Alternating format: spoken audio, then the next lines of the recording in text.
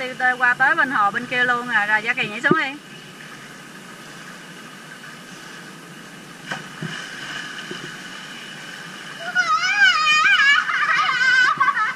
Trời ơi. Trời ơi Gia kỳ, cái gì kỳ vậy?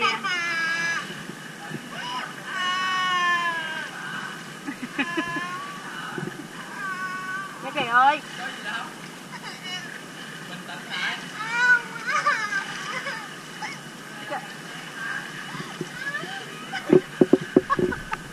Trời giá kỳ Mẹ đi con?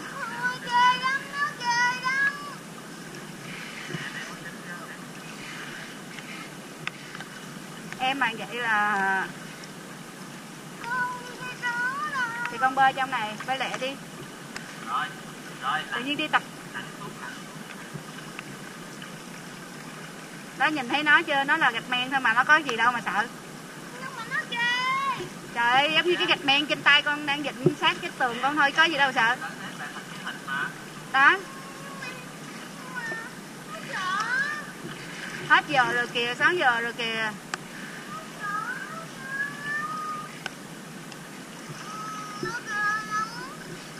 không giờ lặn xuống đi không có thấy ờ, hình con cá heo nữa đâu thấy toàn miếng gạch men không à bảo đảm luôn á Thì con lại đó con coi đi Con đi thôi, con không cần phải lặn Các bạn có hiểu chuyện gì đang xảy ra ở bạn người cá Sa Kỳ không? Bạn ấy sợ nhìn thấy hình mấy chú cá heo dưới đáy hồ bơi. Và tôi phải hướng dẫn cách cho bạn ấy thoát khỏi nỗi sợ hãi và tiện thể hướng dẫn luôn cho tất cả mọi người.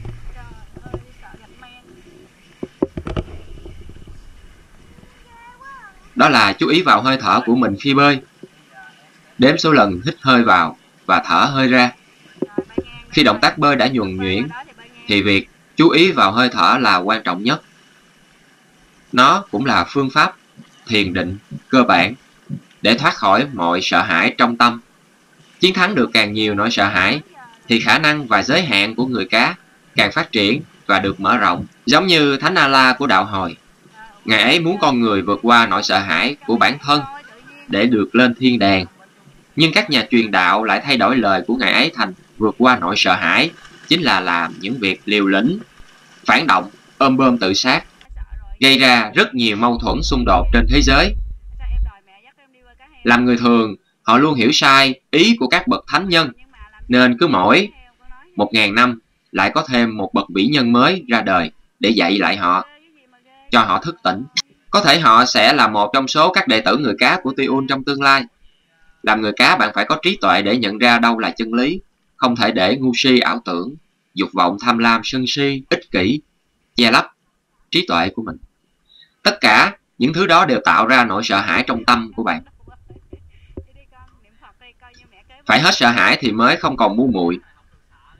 Các người cá của Tiêu Anh đã hiểu rõ chưa? Và các bạn người thường cũng hãy nghe đây. Nguồn gốc cơ bản của mọi nỗi sợ hãi đều xuất phát từ việc giết hại và ăn thịt động vật mà ra. Tục ngữ có câu, ăn gì bổ nấy đúng không? Khi bạn giết một con vật và ăn thịt nó, vậy khi nó chết, nó có sợ hãi không các bạn? Nó có vui vẻ thích thú khi bị bạn giết hại không? Tất nhiên là không rồi. Tích tụ càng nhiều nỗi sợ hãi của con vật, nghĩa là bạn đang ngày càng thu hẹp các giới hạn, thoát khỏi nỗi khổ thân tâm của mình.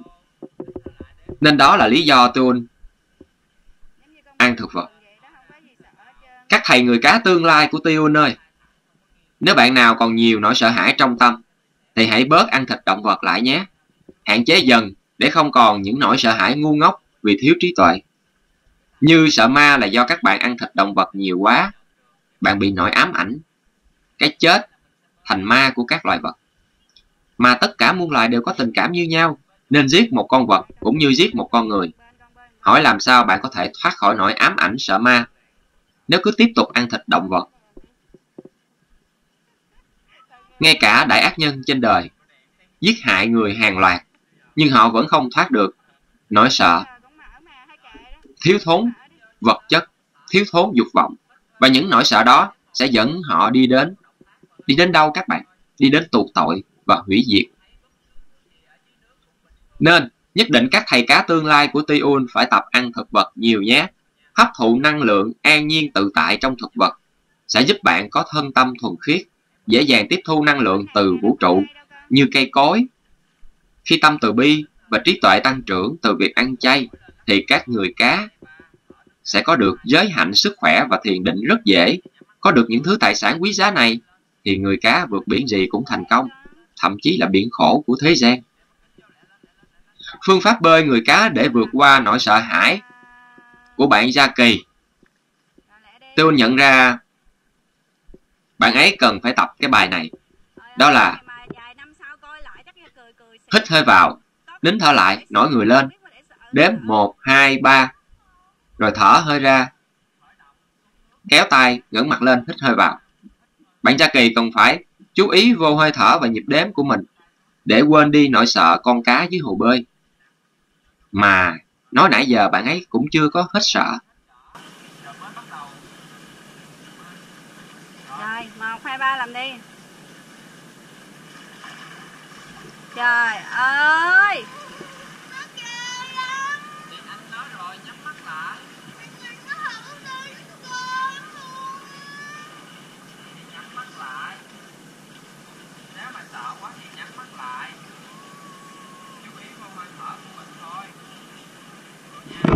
Ôi trời ơi, thôi chết rồi, cái hình mà con sợ vậy rồi con gặp cái khác con sợ cỡ nào nữa. chú ý vô hơi thở của mình chú ý vô hơi thở hít hơi vào đến hơi lại đếm một hai ba rồi hít hơi vào đến đến hơi lại đếm một hai ba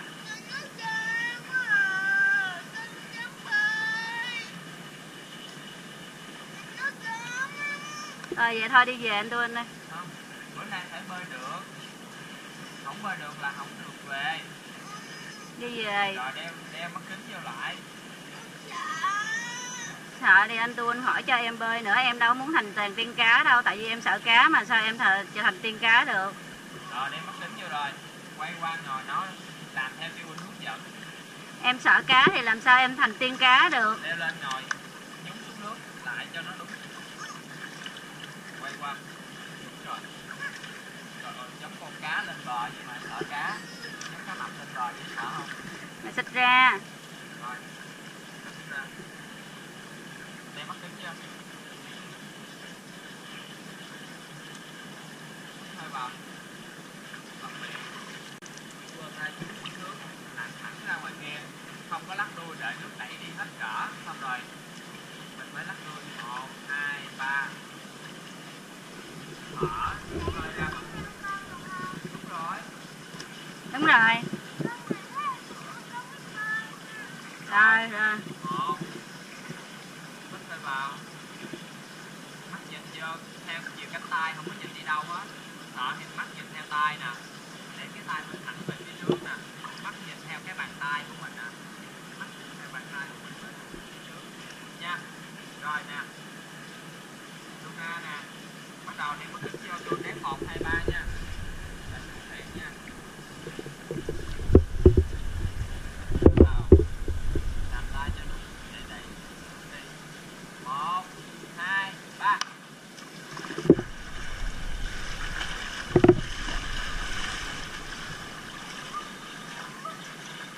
vô nó mắt nhìn theo chiều cánh tay nè mắt nhìn theo cái bàn tay mình hai cái tay mình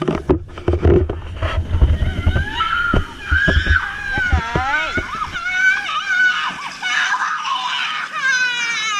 Người ta la con bây giờ kìa Trời ơi Giờ hay đi lên đi về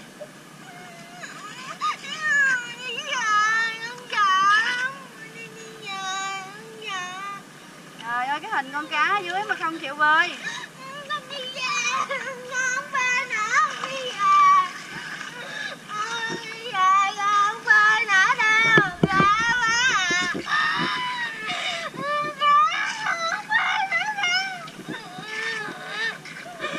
Tội nghiệp anh tôi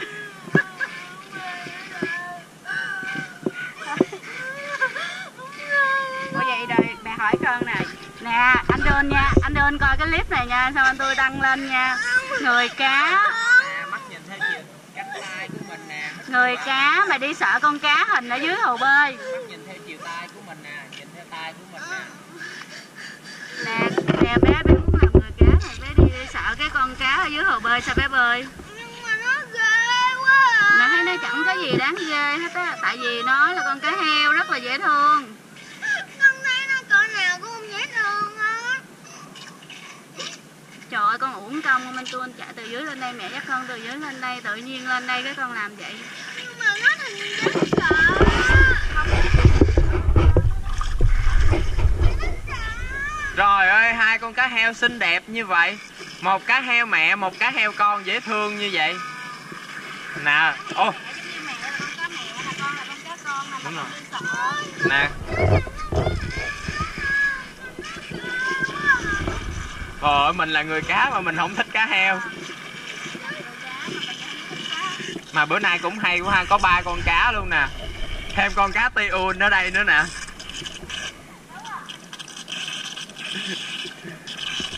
Cá tiun lại hướng dẫn cho cá cá con bơi nè thấy không?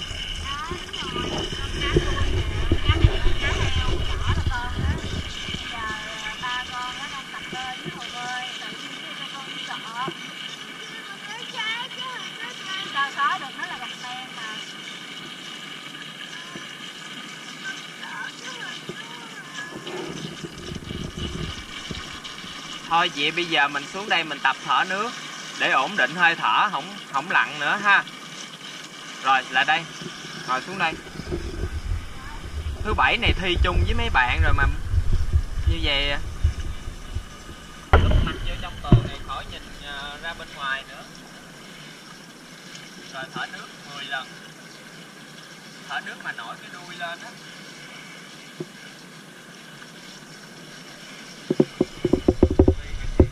tập để thi thứ bảy này thi á đúng rồi đây là hội người Ngọc hội người cá mà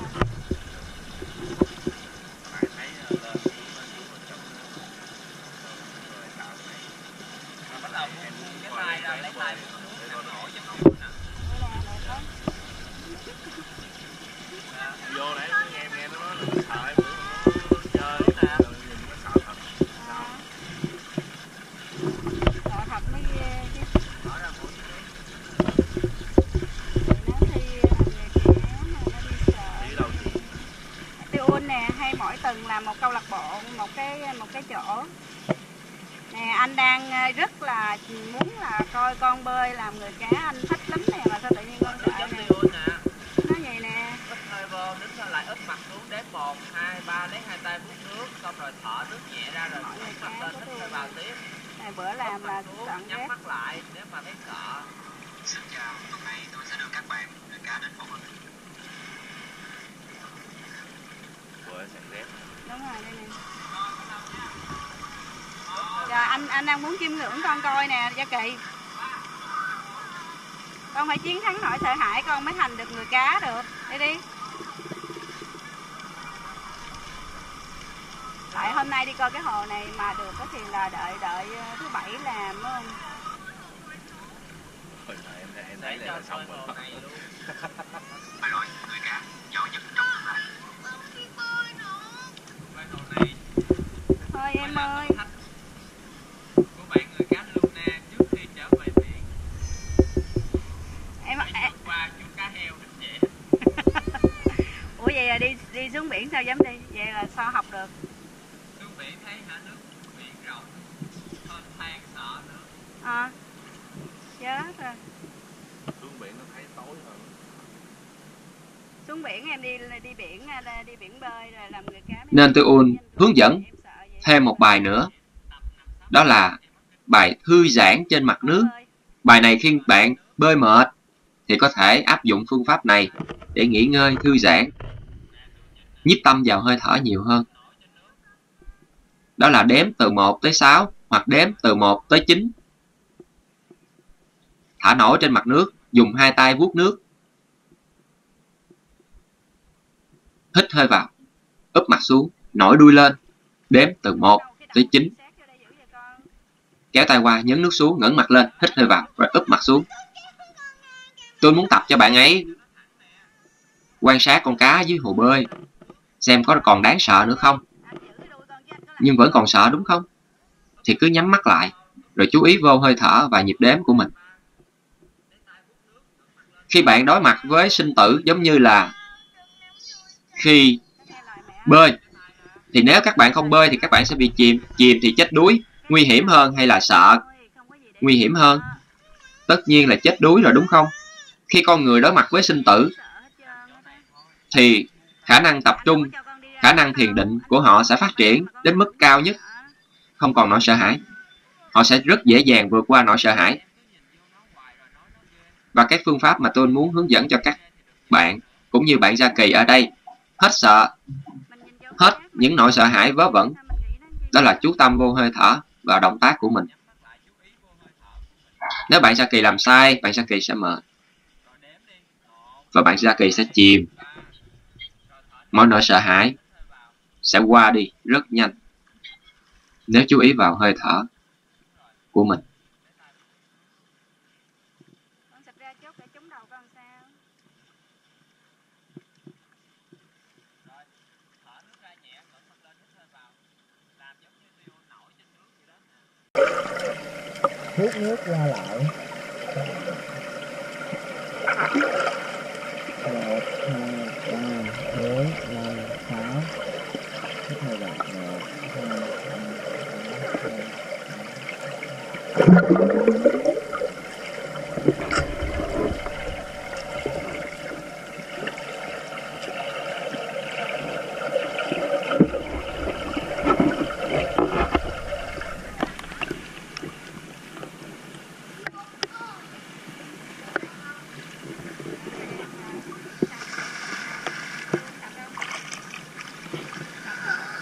Vậy là bạn Gia Kỳ Luna, đệ tử thứ 12 của Tiêu đã vượt qua nỗi sợ hãi kẹt tâm chấp tướng của mình.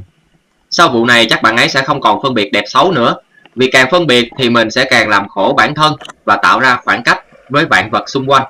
Và những thứ tồn tại xung quanh mình chỉ là những sản phẩm của trí tưởng tượng, nên cứ mặc kệ nó đi, thấy như không thấy, không thấy như thấy, đừng bận tâm. Chỉ cần chú ý đến hơi thở và các động tác kết hợp với bơi lội trong nước thiền định là mọi sợ hãi sẽ đều tan biến mất những thứ suy nghĩ linh tinh như chim bay, vượn nhảy, ngựa chạy, hết thảy đều không còn. Chú ý vô hơi thở. Đừng suy nghĩ gì khác ngoài hơi thở của mình.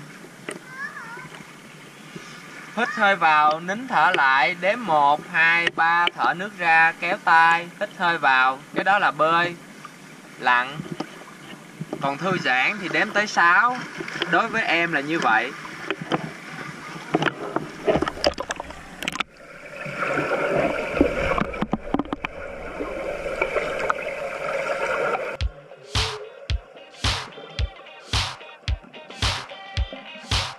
Càng suy nghĩ nhiều, nó chỉ càng làm cho bạn hao năng lượng sống, khiến mau già người. Nhớ nha, không còn sợ hãi, sẽ không còn suy nghĩ phiền não nữa, các bạn ơi.